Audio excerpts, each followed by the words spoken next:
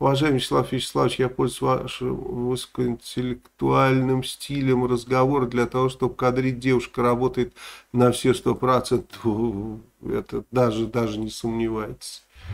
Это женщины любят ушами, поэтому если вы будете разговаривать таким образом, ни, ни, ни одна не выскочит.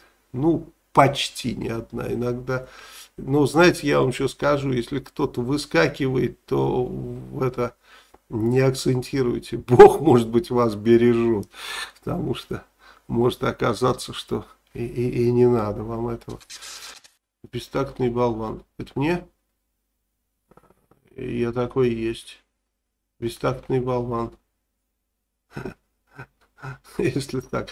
Знаете, я в жизни всегда делал все то, что нравится женщинам. И знаете, кто нравится женщинам больше всего?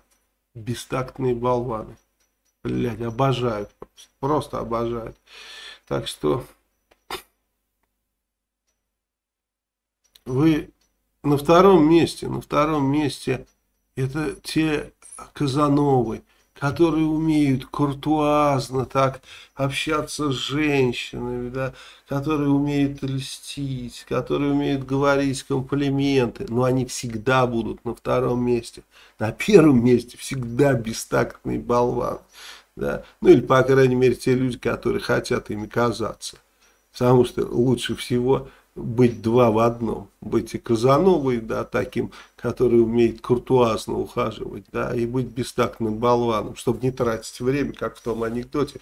Помните, когда у поручика Ржевского корнет Оболенский спрашивает в, в, гусарне, ну, тот с будуна такой лежит, весь облеванный, он говорит, поручик, как же так получается, что вы на балу с самой красивой женщиной танцуете, и говорят, у вас с ними бывают интрижки.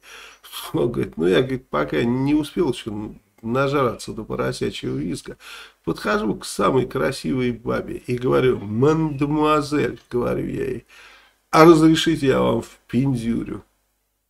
Тот говорит, так можно по ебальничку получить. Ха, бывает по ебальничку, но чаще в пиндюрю.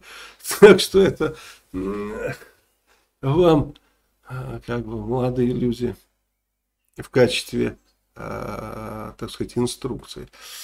Спасибо.